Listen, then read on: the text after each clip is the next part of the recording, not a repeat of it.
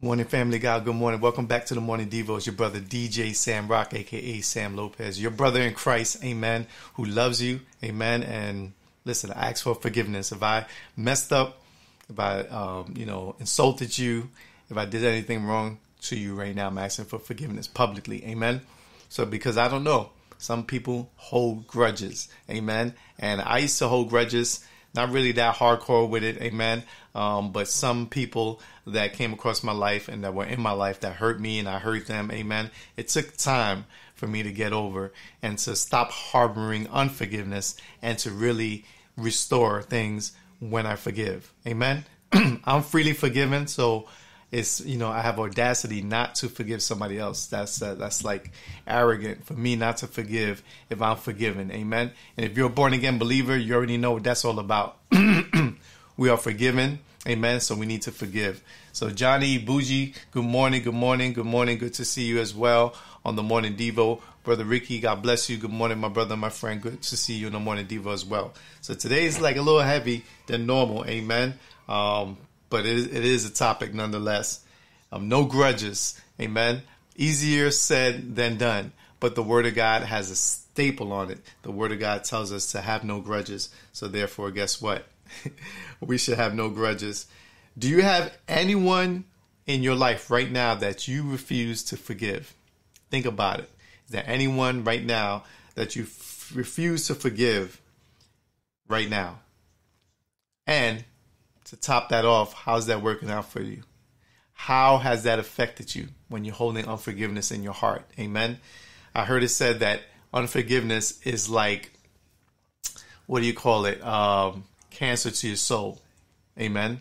Unforgiveness really harbors other things as long eh, that goes with it, like hatred. Unforgiveness holds anger. Unforgiveness holds a whole lot of things. Amen. So, what is it that you're holding on to right now against somebody else? And let, let's let's let's put everything else to the side. I'm talking about you and me. Amen. So, if somebody did you wrong, yeah, you know you're angry. It's hard to forgive sometimes. Um, but what are you holding on to? Because that other person or those other people or that other organization might not even care. They might be keeping it moving, and yet you are dealing with unforgiveness, you're harboring hatred, you're harboring all these things in your heart because you refuse to forgive. So no grudges today in the morning, Devo. Amen. As it's going to help a lot of people out in that area. Good morning to you as well um, on Facebook. Amen. Amen. It's going good, Johnny. Good. I hope it continues to go good in your life. So let's do this. Let's take an opportunity right now to share any comments, questions, concerns, or any prayer requests. I'm a prayer warrior. I love to pray. It'll be my honor to pray for you for your requests. But if you don't want it publicly, I understand that perfectly. Amen. Because a lot of people don't want their prayer requests public. So you could always inbox me on any of the social media platforms that you're listening from or you're watching from. Amen. There should be a way to connect with me from the podcast platforms I'm, I'm available on all the major podcast platforms. Oh, glory to God. Amen. So when you're listening, no matter whether I'm live or not, if you have something to share or to communicate or pray request, anything like that, don't hesitate to leave that on there. Amen. So listen, let's go for it.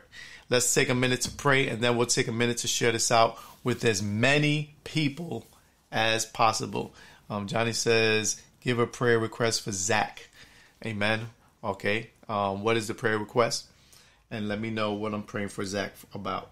Amen. So, Father, I thank you today for being the lover of our souls, for forgiving us, even though we were trespassing against one another and we sinned against you, and you still offered us forgiveness. I thank you so much. I'm so grateful, Lord God, for the life that you've given us, the life and the opportunity that you give us to be born again for those who have not yet put their trust and hope and faith in you. I pray, Lord God, a hedge of protection over us physically, emotionally, spiritually, supernaturally, and naturally. Everything, Lord God, that is before us, Lord God, that is from you, Lord God, reveal it. Give us eyes to see, ears to listen, and a mouth to speak your word over our situation. Father God, if we're holding unforgiveness, if we're harboring hate in our hearts, help us to get that out of us. Take it from us, Lord God, and Lord God, I ask that you remove all unforgiveness in our hearts and in our minds today, right now, in the powerful name of Jesus. I speak life over every single person I speak life for every single person that's connected now, that will connect later, that will listen now, that will con- listen later on the podcast. I pray a hedge of protection over them. I pray health to their bones, strength to their body, strength to their bones, health to their body. Amen. In the mighty name of Jesus. And I pray, Lord God, that you will help us along the way as we know who offended us and who we offended. Help us to forgive. Help us to move on. Help us not to hold any grudges against anyone um, that we come in contact with. In the mighty name of Jesus, I pray, and I know it's available. I know it's possible because when we pray to the Lord and His Word says a thing, it is a thing. And I trust that and I hope and I believe in that in the name of Jesus. Amen and amen. So let's take a minute to pray. Um, uh, we took a minute to pray. Let's take a minute to share this out with as many people as we can. When we come back, we're going to be in Proverbs chapter 17, verse number 9. Proverbs 17, 9. Amen. We're talking about grudges today, and the scripture talks about it as well. I'll be right back.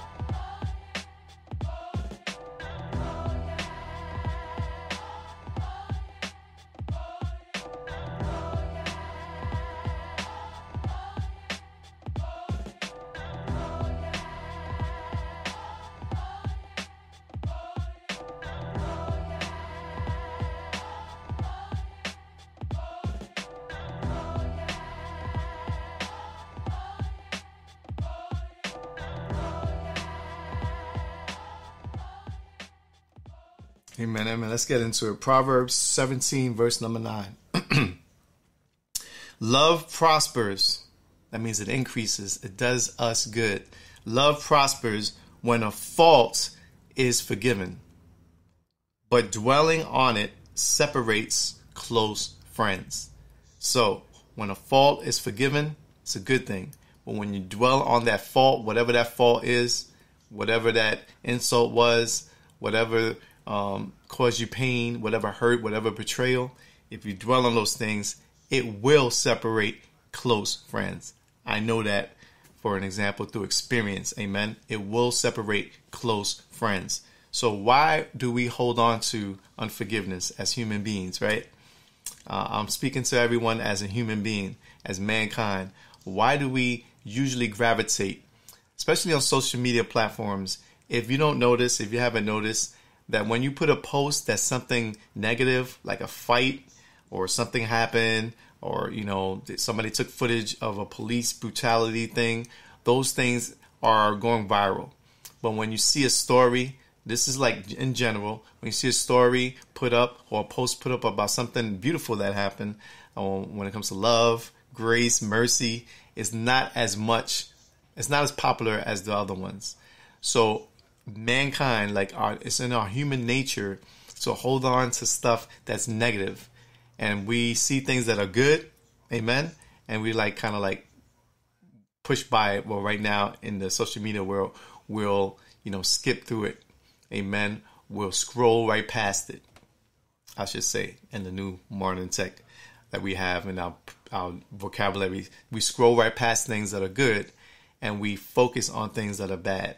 So in this scripture, it kind of lets us know about our nature, our normal normal way of thinking, which is transformed. Our thinking is transformed supernaturally when we have Jesus. Love prospers when a fault is forgiven. Amen. God is love. So when we hold on to love, when we hold on to God, amen, it's all good. We're forgiven.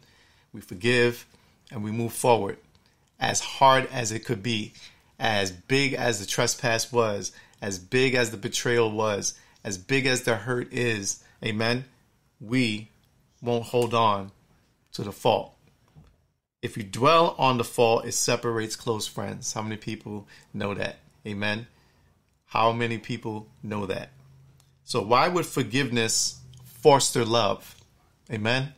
I think forgiveness and love are cousins. Amen. I believe forgiveness is part of the gospel. I believe forgiveness is part of the love gospel of God. Amen. Imagine God holding on, dwelling on my sin, dwelling on your sin, and that's it. He, imagine God not seeing past our sins. Where would we be? How would that affect us? Amen. Well, then God won't forgive us. If He's dwelling on those past sins, dwelling on those future sins, dwelling on the sins that are present in our hearts and our minds right now. If God dwelt on that, amen, we will not be forgiven right now. So it's obvious that God is not staying and holding grudges against us. It's obvious that God is forgiving us. It's obvious that God is saving people. It's obvious that God is healing people. It's obvious that God is loving people because He's not dwelling on faults. Thank you, Jesus. Amen. He, he could have a whole scroll of things um, about my life when it comes to sinful nature, sins, grudges, hatred, um, harboring hatred in my heart, and all that stuff. He could have a whole list of things, but he does not dwell on that over my life and over your life at all. Amen. So love prospers and how many people like to prosper? I like to prosper in all areas of life. Amen. So I speak prosperity over every area of your life right now in the powerful name of Jesus because love prospers. Amen. So when you're walking in love, you're you're actually walking in godliness. I'm talking about the love of God. I'm talking about the love of this world. The love of this world is cold, as like a different energy, right? It's circumstantial. It's like it's like happiness. When the circumstances are good, you're happy, but when the circumstances are bad, you're unhappy. So the love of this world compared to the love of God, amen, is totally different. The love of this world is based on situations. Amen. The love of this world says that you have to love me back for me to love you. The love of this world is based upon behavior. If you act bad against me, I'm gonna act bad against you. But if you love me, I'll love you. Uh, um, but when something happens between us, it, you know, it's over. Unfortunately, the world's view on love, even in marriage, is that way. It's contractual. It's not a covenant. It's not a promise. The world doesn't promise love to love one another um, through thick and thin, um, through health, um, through sickness, you know, until death do they part. The, the world doesn't get down like that. The world says, listen, uh, we're to sign a, a prenup. This is a contract. And, and any time that you avoid or if you violate the contract, then uh, it's curtains. We're out. We're going to separate. Amen. That's the love of this world. But the love of God says, listen, love prospers. When you walk in love, it will prosper in all areas of your life relationally, financially, with your business, at school, at home. Amen. Everywhere you go, love will prosper. It will prosper you and it will prosper me. Love prospers when a fault is forgiven. This is the book of Proverbs, chapter 17, verse 9. Amen. This is something that we should be memorizing. Something that I'm going to memorize because I like, wow, if love prospers, that means the opposite of that does not prosper. Amen. And the opposite of love biblically is not hate, it's actually fear because the Bible says that perfect love casts out all fear. So a lot of us are afraid to be vulnerable enough to forgive somebody else because that, that takes a certain amount of vulnerability. Amen. To show, to be vulnerable, especially for men. Uh, most men don't want to show any kind of like emotion in that way, in that area. Amen. Not a lot of men do that, but I know strong men of God. They, amen. That have emotion. Amen and that they're not afraid to love. They're not afraid to be vulnerable. They're not afraid to be humble. They're not afraid to forgive.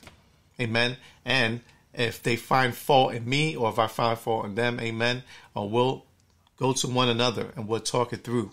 Um, we won't start gossiping. That's a man of God that's operating in love. That's a man of God that's operating in the spirit of God, the fruit of the spirit, amen, and all that and for women as well. Amen. Well, women, to me, in my experience, um, they have like more of a, they're more in connection with the emotion. At least in my experience with the women that I know, the woman of God, amen. So they communicate a little better, amen. It seems like to me, I'm not saying I'm speaking in my experience when I look at it, amen. And their love shows, and they're vulnerable to one another for what I've seen. Amen.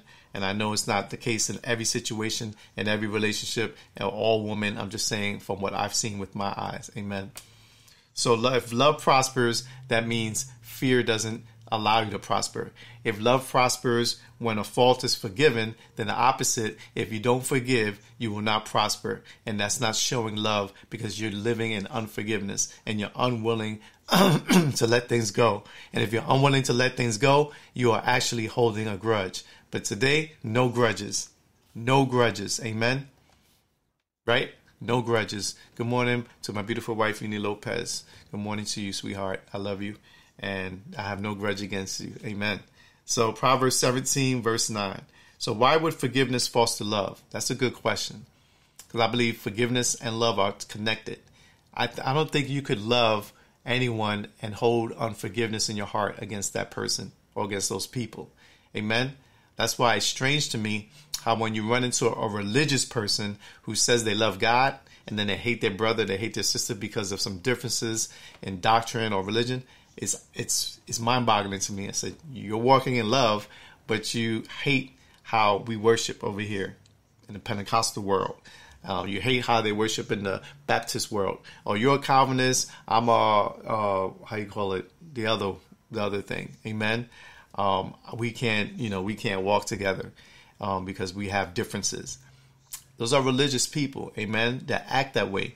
And Jesus confronted religious people all through his ministry here on earth. If you read the Gospels, you're going to see Jesus approaching and confronting these religious people who had the law of Moses. Amen. They were doing supposedly the right things, but their hearts were cold.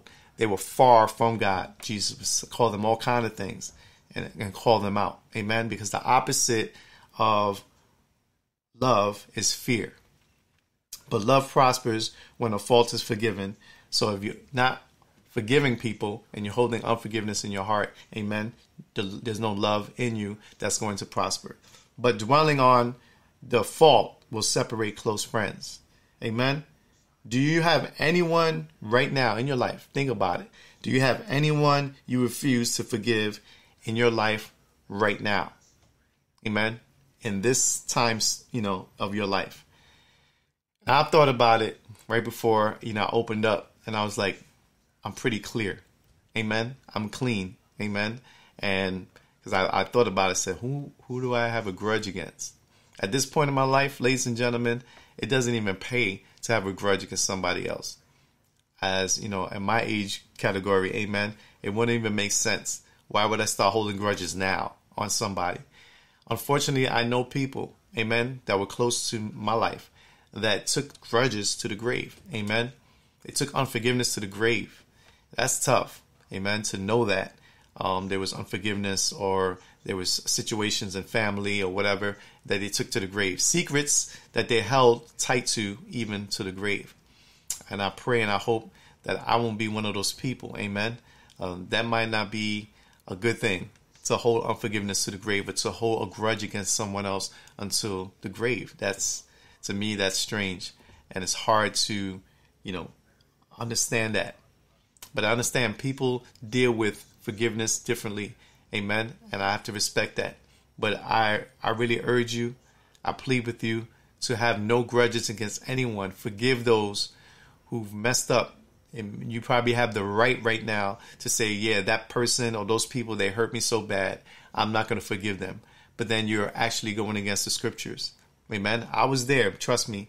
I was in a situation when it took me a decade to forgive someone in my heart. 10 years it took. I thought when I got saved, it was going to be easy for me to forgive everybody. But that wasn't the case. I was still holding on. Amen. I'm delivered, but at that moment, I was still holding on to some things. And one of those things that I was holding on to was grudges and unforgiveness. It took me a decade ladies and gentlemen. And I know a lot of people want to admit, oh, you know, I forgive right away. A lot of people will, will be phony about this. They won't be real about it. But if you know me, you follow me, you know I'm going to say what it is and how it is. Amen. In my life, it took me 10 years, ladies and gentlemen, to forgive a situation, a person that did a situation that happened in my life that really messed me up for a while. Amen. So I'm glad that God had the grace and mercy upon my life to live past that, to live through that. Amen. that He didn't take me or that I didn't, you know, pass on in that time of unforgiveness because that's a mystery to me. What would happen if I had gone, um, that left this earth, holding on to that unforgiveness, holding on to that grudge? It's a mystery to me. What would happen? Amen. And I don't want to play those kind of type of, I call them eternal Russian roulette. Amen. Playing around with my eternity, play around with my destiny. I don't want to play around with that. Hopefully, you don't want to play around with that either. So forgive if you can't find the strength in your own life to forgive somebody else for what they done or what you thought they did or whatever the situation is, that's when we can hold on to God's word. That's when we could go to God, amen, and ask Him to help us to forgive. Ask Him to get understanding and clarity of how to forgive, even in the worst situations. Amen. I've seen clips of of people in court, Christian people in court, that their children um, their child was murdered. For one one case, I saw um, the mom and the dad were in the courtroom and they were facing in the court, facing the person that murdered their child, and it was so heartbreaking to me um, and so like tough. And I'm thinking about it. Would would I have done that? And they literally publicly in that courtroom forgave the killer, the murderer of their child, right there in the courtroom, because they were believers and they said they they did it because they love God. Amen. And they forgave this this man. I was like, man, would I have done that? It's challenging to me. Amen. Don't look at me like that as, as if you would have did that easily. Amen. It'd probably be challenging to you too. But for me, I'm thinking about it, saying, man, I, I can't even imagine that. Um, but it was it was public. It was all over um, social media, all over the news and everything. That they actually offered the murderer of their child forgiveness uh, what a blessed life is that couple, that family, that marriage going to to live on because they're actually showing uh, a real time example of God's grace for us. Love prospers when a fault is forgiven, but dwelling on it separates close friends. We're in Proverbs 17 9. So if you have, let's say, if you refuse to forgive people, amen, how do you think that's going to affect your life? Because you heard it time and time again. If you haven't heard it, let me remind you of a, of what I, I learned through life experience. Sometimes people do things right, and you're like, I'm not gonna forgive that person. You refuse to forgive them. You're holding on to the fault, and that other person, uh, you can hold on to it two the two years, five years, ten years. Either the other person doesn't even know that you have a grudge against them, or sometimes they're not even here on this planet Earth sometimes they died and you're still holding on to you're refusing to forgive this person and they're not even here on the earth. So it's like holding on and having grudges is really a waste of time if you really think about it. And you imprison yourself. You put yourself in own your own prison of unforgiveness. And the other people or the person is free. So when we forgive someone we actually we're actually freeing ourselves up from any kind of imprisonment, whether it's mentally, whether it's supernaturally, whether it's naturally, whatever the case may be, you're taking yourself out of the prison of unforgiveness. Because when you're holding and harboring unforgiveness in your heart, you're actually bringing um, the prison to your life. You're stagnant in certain situations in your life because you refuse to forgive. So, my suggestion, amen, amen, is Go for it, man. Forgive. Don't hold on to unforgiveness. It's not it's not it's not cool. It's not how you call it. it's not prospering you. It's not helping you. It's actually hurting you when you hold on to unforgiveness. And when you have a grudge for somebody, towards somebody, amen, then you're actually displaying your your sinful nature. You're not displaying godly nature. You're, you're displaying your sinful nature. You're saying, I'm better than that person. That's what you're actually saying. So I won't let that person off of that fault. Amen. Can you imagine if Jesus was on that cross and, and looked at you and looked at me and says, you know what? I'm going to hold a grudge to you. Even after I die and raise again, I'm going to hold that same grudge against you. What kind of God would that be? Would that be a loving God or would that be just an angry God, a wrathful God, a God that does not forgive, a God that holds on to our sins, a God that, you know, that would be some someone totally different than the God we see in the scriptures. Jesus the Christ forgave us. Amen. So if he forgave us for all the things that we did to him and all those people that did all that stuff to him during the time he was on the earthly ministry, how will we ever dare say, listen, I'm not going to forgive you because we will have no excuse when you compare the forgiveness that we're trying to offer to one another compared to the forgiveness that Jesus offered all the whole world for all eternity once for all. He offers us forgiveness. How would we be even like looking at one another with grudges? Amen. If you take it from that perspective. Jesus, an innocent man dying for a guilty world, amen, and still forgave us for our sins and trespasses. Why would we ever think that we should be holding on to unforgiveness? Love prospers when a fault is forgiven. So, whatever that fault is, you notice the scripture doesn't describe the fault. Let's read it and amplify just in case, amen, the amplifier has a little bit more sauce on it. Proverbs 17 9 and Amplified says, He who covers and forgives an offense seeks love. Amen. That actually after love. But he who repeats or listen to this or gossips about a matter separates intimate friends. Close friends can be separated because of gossip. Amen. Because somebody repeating something outside of the conversation between that person, that's gossip, about a matter separates intimate friends and intimate means close. Close friends will be separated due to unforgiveness. So this is deeper than what I thought, right? This is deeper than that. He who covers and forgives an offense seeks love. Amen. And now I'm starting to understand um, some situations that I've seen and that I see um, why people cover, amen, um, things because they're seeking for love and they're believing and they're trusting, amen. Um, I'm not saying I, am not against um, sin to be exposed. Sin should be exposed. Amen. Because if I love you, you love me. Amen. And if I'm found in sin, if you love me, please expose me. Amen. So that way I'll snap out of it, wake up. Amen. Although it might be a little embarrassing, although it might be a little this, that, and third, but because you love me, you will expose my sin and help me out of that sin. Help me to get back on the right track. That's out of love. Amen. Cover me in prayer. Amen. And I'll cover you in prayer. But please don't let me dwell on a fault. Don't let me don't let me stay in sin. If you love me, help me. Amen. Because an act of love love demonstrates love is an action word love doesn't keep you on or keep you in a place where you're in unforgiveness you're in sin or anything like that if you love me expose it amen and i'll do the same for you and i know a lot of people get mad when they're exposed, but that actually is an act of love. That's actually God saying, okay, you can't live in the darkness because you're a child of the light. So darkness has to go. Amen. The lighthouse, the light effect of anything, if you shine light on anything that's in the dark, whatever is in that dark, the light will find it and it will be exposed.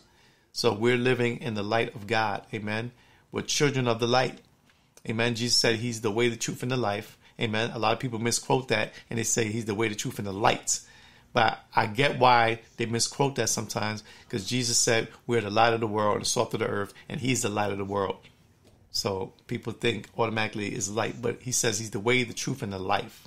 Amen. Love prospers when a fault is forgiven, but dwelling on it separates close friends. So that's all I have for you today.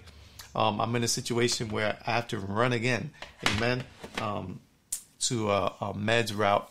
Amen. So I have to um, skip out of here. But I'm so grateful that we shared this time together. Amen. Hopefully, if you have fault, um, if, I have offended you, amen, hopefully we could talk about that. Amen. Because um, sometimes I'll be unaware. And honestly, a lot of people are just unaware that we've offended somebody. And then, like two, three years later, you say, Yeah, remember that day when you said this, that I was offended and honestly, I know I, I would be like, really, what did I do? I remember a friend of mine. I was doing a, a Bible study, and he was connected with me through. He thought he was texting me, but he's actually emailing me. I don't know what was up with his phone. And he said, "Yeah, you're talking about this, you're talking about that, but you abandoned me. You did this to me." And uh, after um, the podcast, because I was throwing back, I was like, "What is what is this person talking about?"